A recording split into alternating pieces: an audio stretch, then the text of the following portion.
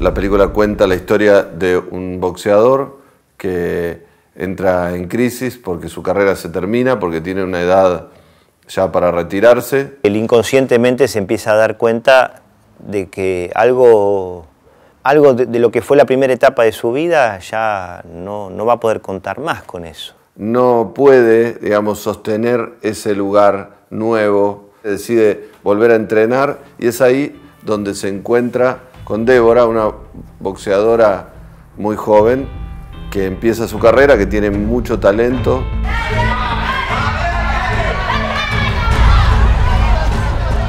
Débora es una chica que viene de Misiones a Buenos Aires, está sola, viene con, una convicción, que es ser boxeadora profesional también. Mucho gusto, Débora. ¿Me estabas siguiendo?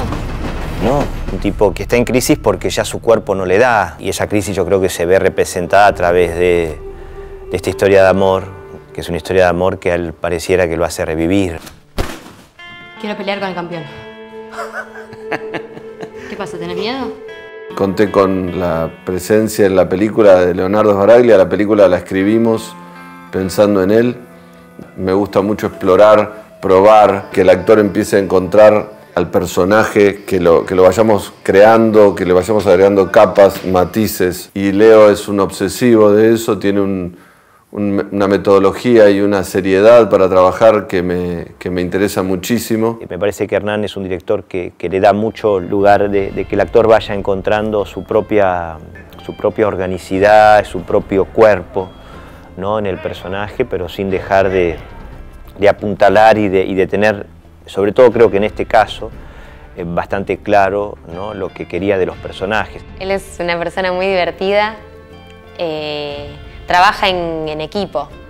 No es que solo sus ideas son las que quedan. Él trabaja en equipo, trabaja con el actor. Y trabajamos el personaje solos, pero también lo trabajamos en equipo con Leo. ¿Para afuera? ¿Para afuera? No, no, Era muy difícil encontrar una chica que tuviese todas las características de cierta despampanancia, de cierta cosa, de, una gran sensualidad y al mismo tiempo de una gran brutalidad a través del boxeo, ¿no? ¡Anda a cogerte a la moza! qué, te hice, pelotuda? ¿Qué te hice? ¿Eh? Y claro, apareció Eva y era muy impresionante ella en la, en la prueba, la fuerza que tenía, la sensualidad que tenía. Su energía tan juvenil, tan intensa, nos pareció que era fantástica para, el personaje. Tiene un talento tremendo, mucha fuerza. ¿Por qué boxear?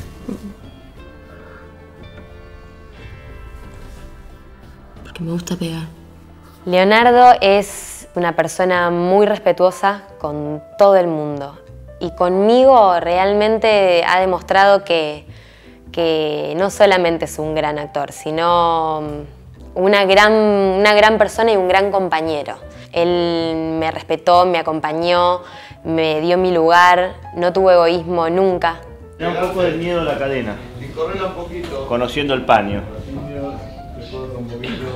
¿Yo qué hice? Nada, no dije, yo te miré, me lo miré ahí. El entrenamiento del box fue muy importante. Fueron más o menos entre cuatro y cinco meses de, de trabajo, sobre todo de los cuales, entre los cuales tres, cuatro meses fueron de una intensidad brutal, ¿no? de, todos los días, domingos inclusive, entrenando. Durante esos meses mi vida fue la película, porque también a mí me, me generaba una gran responsabilidad interpretar a una boxeadora. Filmar box tiene su particularidad. Normalmente, además del entrenamiento que los actores tienen que tener para, para hacer el personaje, digamos, se hacen como pequeñas eh, coreografías, a veces se golpean de verdad y a veces no, entonces es cross, cross, recto, recto, gancho, bueno, y eso se va organizando de tal manera que se puede ensayar y repetir muchas veces, de distintas posiciones de cámara.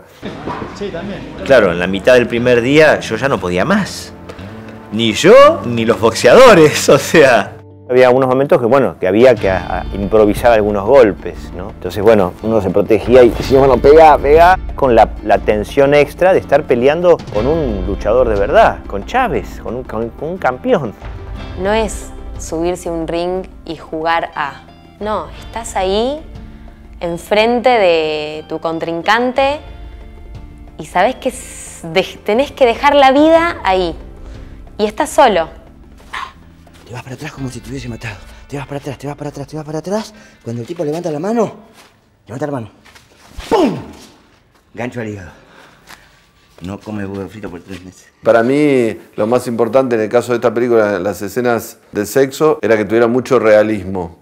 Entonces, yo traté de construir un, espacio de trabajo, un, lugar de confianza, de respeto mutuo. Son como los acróbatas, ¿no es cierto? Uno tiene que saber que vas a saltar del trapecio y que el otro te va a agarrar en el aire. Con Leo trabajamos mucho juntos.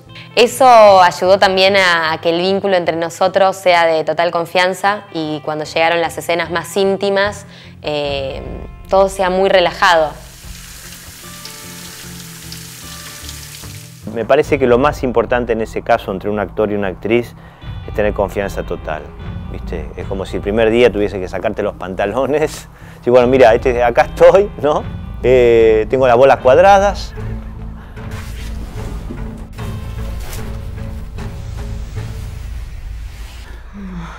Tuve la suerte de contar con actores maravillosos, no solamente Leo y Eva, sino también, por ejemplo, Osmar Núñez, un actor que siempre admiré que me gusta muchísimo su trabajo. Trabajar con él fue, fue hermoso, eh, así como, como con Claudio, que, que, también había trabajado con él y, y, es, también es un actor que admiro mucho. Uno de los grandes desafíos fue también trabajar con la, con la actriz que hace de la mujer de Leo, es una actriz italiana, se llama Erika Banchi, eh, una actriz muy dúctil, muy bella, la película para mí fue un antes y un después porque yo siento que como actriz me dejó lucirme en algo muy distinto a lo que venía haciendo y también me conectó con, con mi parte más animal, con mi parte más... Eh, digo, Débora es una persona que no, que no piensa y después hace, hace y después piensa. Cada escena de la película era un desafío todo, el entrenamiento, los ensayos, todo era un desafío y me mantenía con mucha adrenalina. Mira quién es. Ah, es una piba nueva. Me veo ahora en algunas escenas de la película y, claro, eh, digo, ¿cómo, cómo se llegó a eso, ¿no? Y, pero claro, porque tiene que ver con, con todo el trabajo previo que desgraciadamente no siempre se tiene, ¿no? Y en este caso pudimos, pudimos trabajar muy bien. Así que bueno, nada, ojalá que quede lindo. No me quiero retirar todavía. ¿Eh? Quiero pelear por el título mundial.